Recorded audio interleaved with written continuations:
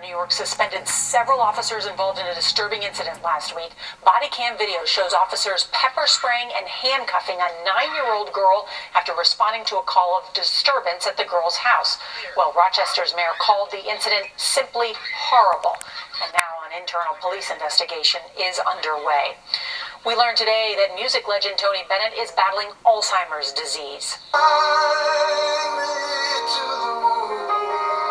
Bennett's wife told CBS's Gayle King he was first diagnosed in 2016 and that the 94 year old still recognizes family members, but is not always sure where he, is, where he is.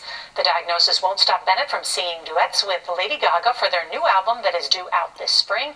Bennett's wife told CBS this morning singing is saving him. All right.